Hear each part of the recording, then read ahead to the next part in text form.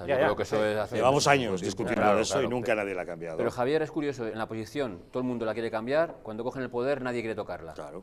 Como se favorece a las minorías, eh, pues eh, unas que están en mayoría ya no quieren saber nada de nada al respecto. Eso es lo curioso de nuestra democracia y nuestros partidos políticos. Es decir, vemos lo que nos interesa y yo he dicho mil veces y lo vuelvo a repetir, si los, los políticos todos, en vez de mirarse el ombligo o la sigla de su partido, mirasen al- arriba y mirasen a los ciudadanos, nos iría mejor a todos. Pero sin embargo vemos, como decís, me interesa a mi partido coger un poder aquí o allí, me interesa a mi partido que tenga esto o deje de tener. O sea, que al final se desvirtúa completamente por eso, porque no miras el bien de todos. Y cuando un partido mira por el bien de unos pocos por encima del de todos, malamente vamos.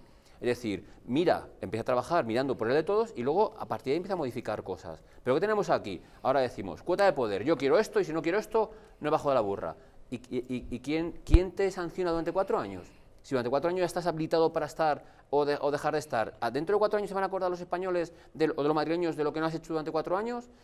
Mira, tenemos en España una memoria de pez que te acuerdas dos o tres días de lo que ha pasado, pero que después lo dejas pasar. Y el problema que tenemos es esto, que los políticos no pasan factura, es decir, no le sacamos tarjeta amarilla o responden delante de un comité de garantías para decir que han hecho o no han hecho, o como habéis dicho, eh, que no han cumplido lo que pone el programa electoral y no pagan por ello. Y sin embargo, pues dejamos que pasen, quejamos que pasen y vemos en lo que hay, que en vez de mirar por el bien de todos, miramos porque quiero colocar a esta mujer al frente del Ayuntamiento de Madrid. Quiero colocar a este al frente de tal sitio. O tú me das Murcia, yo te doy Madrid. O, venga,